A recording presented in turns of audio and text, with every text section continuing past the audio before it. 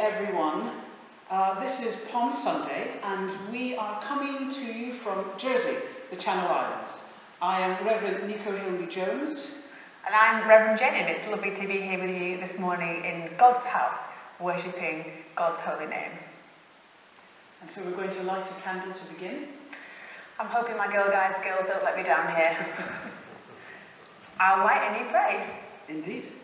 And so let us worship as we pray. God is our strength and our salvation. Let us sing with great joy.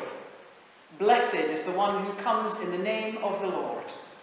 Let us be glad and rejoice, for Jesus Christ is Lord. Give thanks to God, for he is good. Let us praise the name of God, for his steadfast love endures forever. Amen. Amen.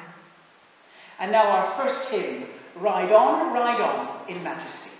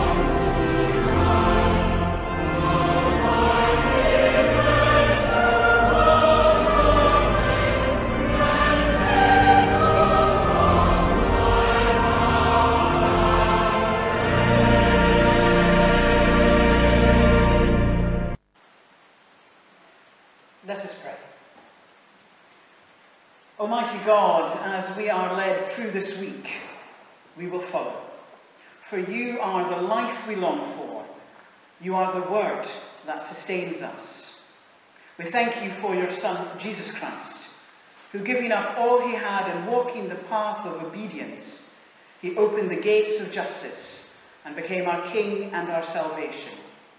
We wave palm branches in anticipation and we lay our cloaks of love before him to cushion his walk. And when the gates of joy have been opened to us, we will spend moment by moment, every knee in creation bending, singing our praises to you, God in community, holy in one, together in faith. Loving God, we confess that we, we never praise you enough, nor serve you well enough, nor love you deeply enough. We try, yet we falter. Always we fall short, and sometimes we realize our limitations, sometimes we do not. Yet you, gracious God, go on loving and nurturing us, not counting our faults, but multiplying your grace and mercy. So forgive us when we cling to the excuse of our unworthiness to serve you, forgetting that in Jesus you have cleansed our sin and removed our guilt. Forgive us when we betray the truth of the gospel through our lack of integrity, and we, we do not follow you with our whole hearts. And so we thank you for seeing beyond our faults and our fears and empowering us to be new people. And knowing that we are all your children and you are always with us, we just ask that you redeem us now, you lift us up again and set us free. So, sisters and brothers, as you trust in Jesus, know that your sins are forgiven and be at peace. And we ask all this in your holy name. Amen. And now let us say the prayer that Jesus taught us to say. Our Father, who art in heaven, hallowed be thy name. Thy kingdom come, thy will be done, on earth as it is in heaven. Give us this day our daily bread, and forgive us our trespasses, as we forgive those who trespass against us. And lead us not into temptation, but deliver us from evil. For thine is the kingdom, the power, and the glory, forever and ever. Amen. Amen.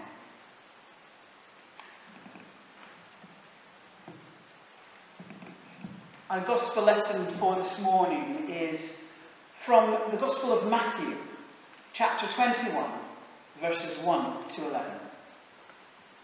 And it says this As they approached Jerusalem and came to Bethphage on the Mount of Olives, Jesus sent two disciples, saying to them, Go to the village ahead of you, and at once you will find a donkey tied there with her colt by her. And tie them and bring them to me. If anyone says anything to you, say that the Lord needs them, and he will send them right away. This took place to fulfill what was spoken through the prophets. Say to daughter Zion, See, your king comes to you, gentle and riding on a donkey, and on a colt, the foal of a donkey. The disciples went and did as Jesus had instructed them. They brought the donkey and the colt and placed their cloaks on them for Jesus to sit on. A very large crowd spread their cloaks on the road, while others cut branches from the trees and spread them on the road. The crowds that went ahead of him and those that followed shouted, Hosanna to the Son of David! Blessed is he who comes in the name of the Lord. Hosanna in the highest heaven. When Jesus entered Jerusalem, the whole city was stirred and asked, Who is this?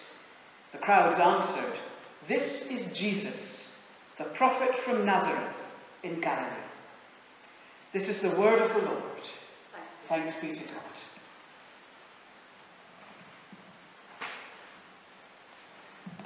Thanks, Nico, for that reading.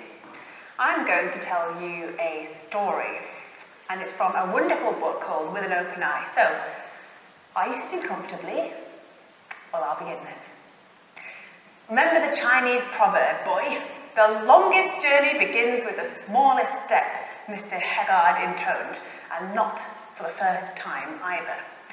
It had been a mantra that Maynard had become all too familiar with in recent times.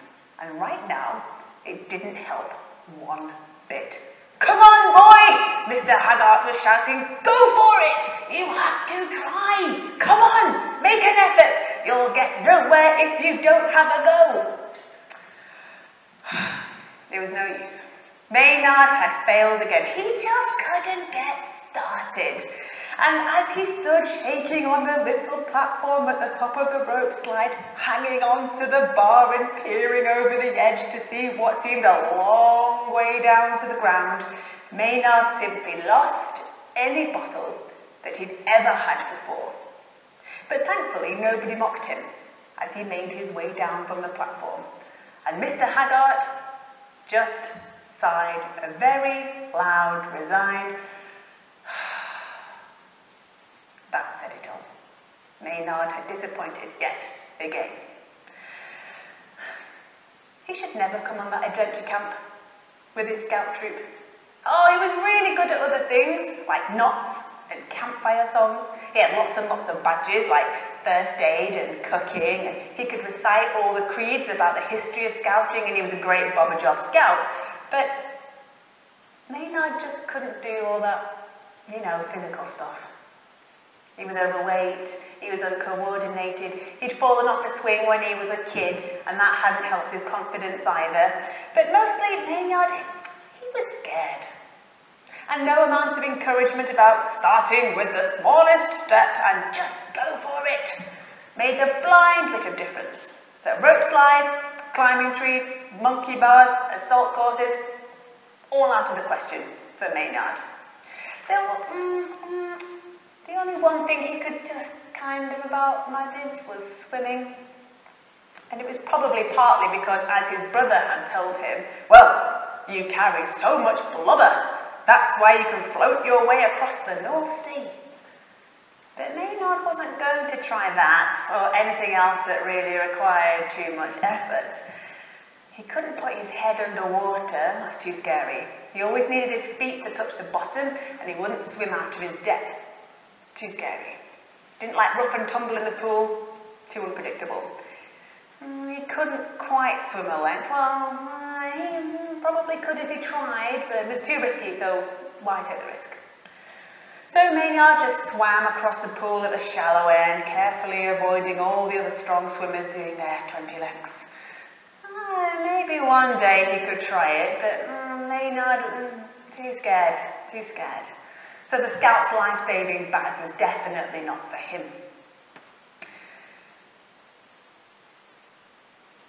It would have been fine if someone else had been around when Digby Matheson fell into the river. He wasn't supposed to fall into the river, of course, but because Digby was one of the best behaved and most ultra careful boys in the troop, and anyway, he'd broken his shoulder and his wrist the previous week when he'd fallen off his bike and his arm was now in plaster and it was hanging in a sling. It was touch or go whether he'd be allowed to go to the camp. But he promised to behave. And Maynard said he'd be there for Digby. And Mr. Haggard and the other troop leaders had promised to look after them. So there was no problem. Once Maynard had been let off trying the top slide, and with Digby incapacitated with his sling, the two lads were dispatched off along the riverbank to collect wood for the campfire. Maynard carried the big canvas sack, and Digby held the small axe. And a sufficient quantity of suitable firewood was dutifully collected. Maynard hoisted the sack full on his back, that's what big lads are there for, isn't it? and the two pals were ambling along the campsite when suddenly a fox came shooting out of the undergrowth and the, the two scouts were given such a fright that Maynard swung around in the direction of the fox that he had run and he clobbered his unprepared companion full on his bad shoulder with the sack of firewood and Digby screamed in pain and staggered backwards to escape the menacing Maynard and fell right off the edge of the path into the river. And within moments he was thrashing around the water, completely incapacitated by his injured arm. He tried to reach for the grass on the bank with his good hand, but he was too far away. And the more he tried, the more he failed, and the more he tried, the more he panicked, and the more he panicked, the more he thrashed about, and the more he thrashed about, the more he was taking in water. And Maynard was panicking too. What should I do? What should I do? Sh should I run back for help? Oh, it's too far. I'd never make it anyway. Could he? Could I find a stick that's long enough to get Digby to catch him? No. Well, there's nothing lying around. And Maynard looked at his struggling friend, and he heard a voice in his head. Come on, boy. Go for it. And in an instant, he leapt into the water. He didn't know what he was supposed to do. The water would be over his head, he'd sink without a trace. And they'd both go down together. But, to Maynard's surprise, he found he was standing upright. His feet were firmly on the riverbed, and the water no more than his waist. And Digby was grabbing onto his arm, save me, save me, save me! Steady on, You'll have me trousers off if you're not careful. Pretty soon the two wet scouts were struggling the two path and neither were quite sure who was helping the other. What they were sure of, though, was that they had a great story to tell around the campfire that night. And when the truth came out, Mr. Haggart called Maynard out in front of all the following night and with a great ceremony presented him with a new badge, which looked surprisingly like something cut out of an old tea towel written with some felt tip on it, which proudly reminded Maynard that there might be more times like this if you just go for it.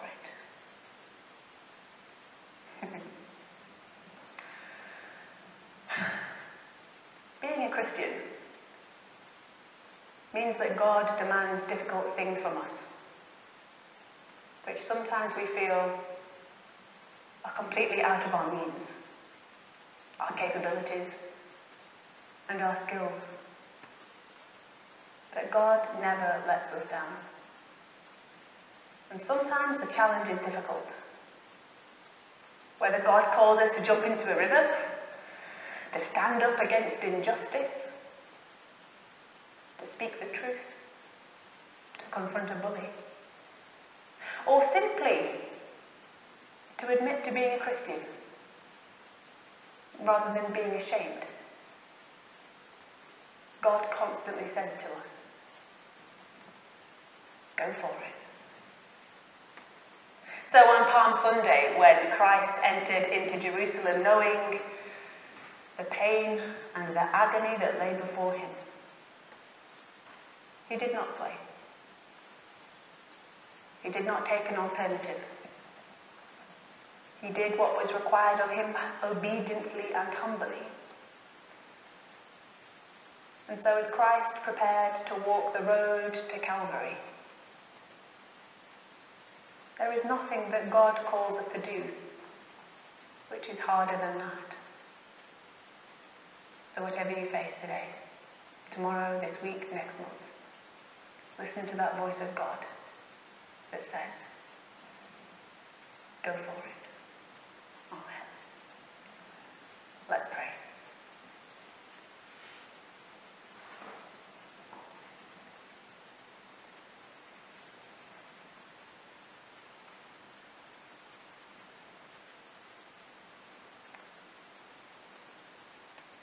Loving God, remember the troubles of this world, where there is fear and hatred, where there is terror and despair. We pray for your mercy. We pray for your peace. Lord, you taught us to pray for our enemies, so we pray for all those for whom we struggle with in this world. For whom make people may, they make bad decisions that do not benefit many people. We pray for mercy.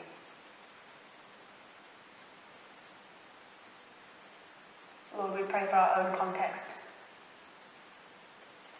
You know the intricacies of our communities, our next door neighbours, our places of work, our families, and all the communities that we work in.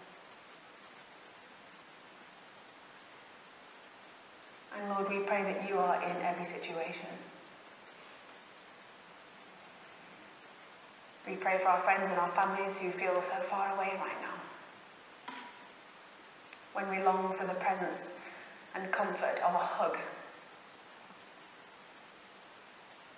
May we feel your Holy Spirit's arms around us and your presence truly with us. So, Lord, be with our friends and our family.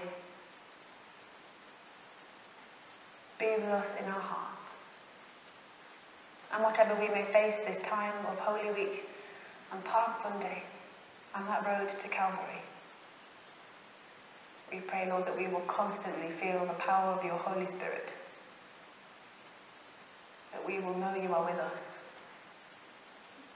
and we are not alone.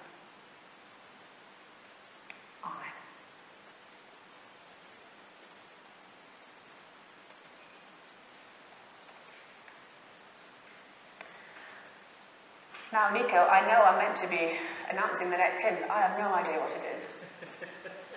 I even picked it as well. What is it? Remind me. Our next hymn is Lift High the Cross. I have to say, before we play it, I know that my congregation at St. Ouen are all laughing right now. There's never been one service I've not got the hymns wrong, so the good people of St. Ouen, I hope you're laughing. So, what are we singing? Lift high the cross.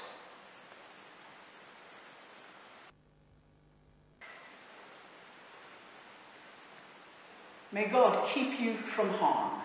May Christ Jesus lead you through the gates of justice. And may the Holy Spirit fill you with joy so you may praise Christ the King. May the blessing of God the Father, Son, and the Holy Spirit be among us and remain with us always. Amen. Amen.